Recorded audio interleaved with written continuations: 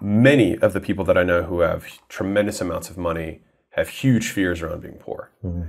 And so it's just as an interesting thought, like a lot of people who don't have money see people who have money as thinking differently, and they might in that they are more uncomfortable being poor than you are. Mm-hmm. Like it m- is more painful for them than it is for you. What is the business vision that you have? What's the number you want to reach Yeah. Personally for the business? All these things. Yeah. I know you've talked about being a billionaire. It's just going to take a matter of time. Yeah. When do you think being a billionaire will happen for you? Um, I'd like to do five to seven for a billion. I'd like to hit ten and ten.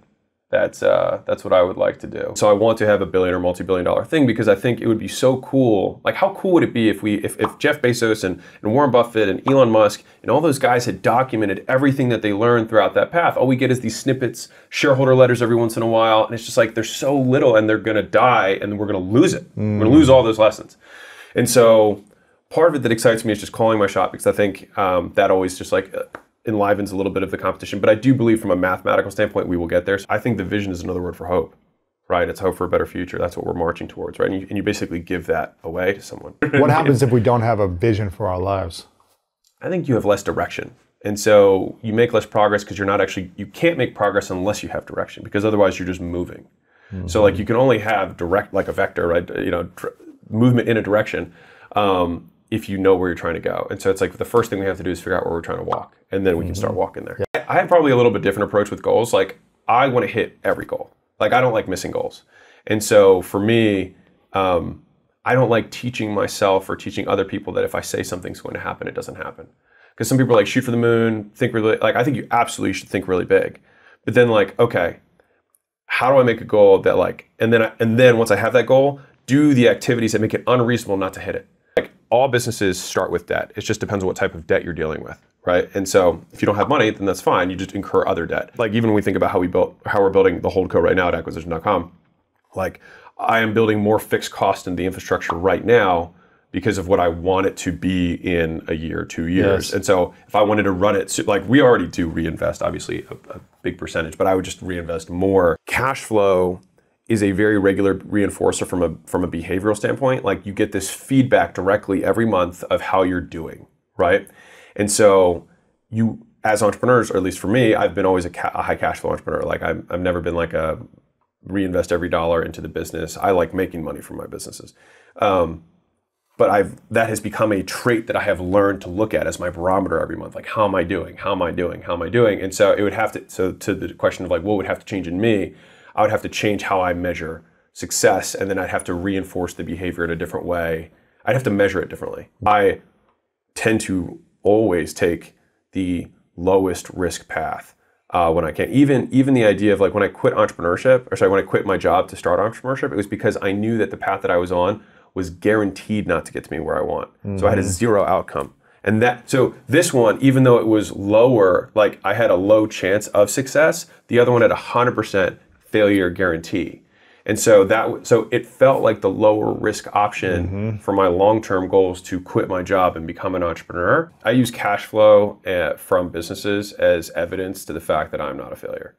And so I use I I've always like it it has been easier for me to change my conditions than to change who I am.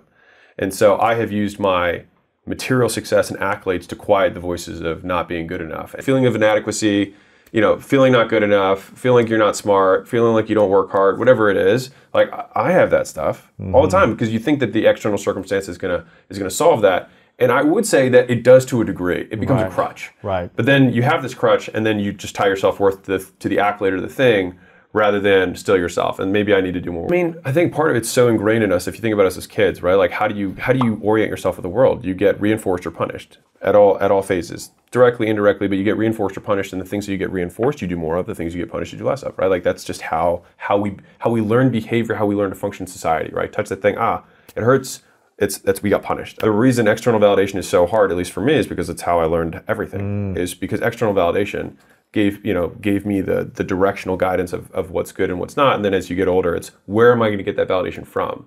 And so I would say that my external validation um, comes is still 100% there. It just comes from different sources. So I'm more selective on whose validation I want. Most times when we're afraid of something, it's not actually like this amorphous crowd that we're afraid of. It's like one or two people's opinion. Like it's your dad or it's your whatever it is, right?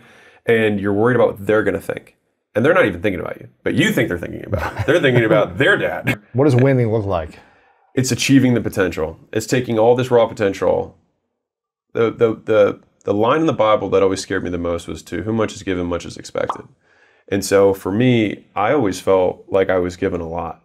I expect a lot of myself because I see so much potential, um, and I want to tra- like by the time I die, I would like to have nothing left in my potential tank, um, and it just all have been transformed into into my reality. Yeah. So that's what winning looks like. What businesses have the best cash flow? So this will be relevant for everybody in the audience, and also hits on what we were talking about with the wealth thing. Like wealthy people choose higher leverage opportunities, and we went over what leverage was earlier. Um, the best businesses, especially in an inflationary period, are businesses that have low capital expenses, Okay. um, and that's because if you you, have some examples? yeah, yeah. So If, like, I'll give you opposite examples to make, and then I'll drive it. So the, something that does have high capital expense, which is what you would not want to get into, would be like stuff that has lots of inventory, stuff that has lots of supply chain, lots of manufacturing, heavy equipment, things where you have to constantly buy more stuff in order to increase capacity, right? A low capital expense business are things like services, right? Services, uh, you know, digital businesses.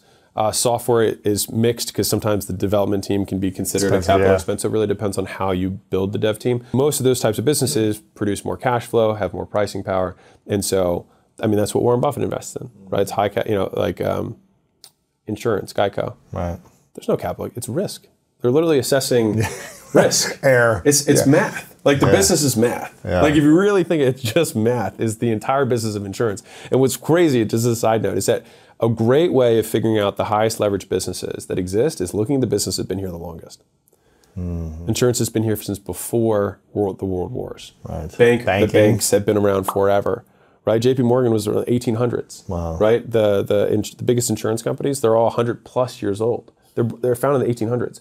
And so when you have a business that's lasted that long, to me that's a great breadcrumb of like this thing has to print money. I'll give a couple rules of thumb if anyone wants Yes. those. But like if you're if you're building a service-based business for us, I would I by all means, I have to get gross margins above 80%, which means five times the, the cost of goods. So if it Wow. costs me $100 a month, the minimum I'll charge is 500, right? And so that also gets you to, to think about business differently, which is not necessarily even how much can I charge, but how can I provide value and make it cost as little to me? How can I be as efficient as possible? And if you think about what technology does over time, is technology takes something that's valuable and makes the cost of delivering it less. Mm. I think technology in general makes things easier for most people. I mean, because at the end of the day, it's just it's it's increased access for mm-hmm. more people. Yeah. And so I think To reach more people Yeah. at any moment. yeah, if I were just to use history as a as a as a guide, business has only gotten easier to get into. It's gotten more competitive and easier to get into. And so I think that what happens is just the arena gets bigger. So you got more gladiators, so it's more mm. competitive, but more people can walk in. In a capitalist system, it is a winner take all for most, for, for many, not all, but for many businesses. And just by the nature of it, that does create social disarray. Mm-hmm. And it's just, but the thing is, is like, it's still the best system that we have. We don't have a perfect system because the other, other systems remove incentive and humans are driven by incentive. Yeah. Even the survivorship bias, like every MLM in the world exists off the fact that there's that one guy who makes $500,000 a month selling shake mix. And the other 5 million shake mix producers are like, someday, that'll day be I me. get there, yeah. And it's just survivorship bias, right? But that's why the whole capitalist machine works. If you were to imagine life as a poker game, right? And we, we- everybody you know grows up, they become 18 years old, they can go into the casino, they get a chip, or 21, whatever age you can be. And then you get you get a chip, and then you sit down at the table and you're dealt cards, right? And there's all the other players around the table. And depending on the cards you're dealt and the skill you have, you, you begin to amass chips, right?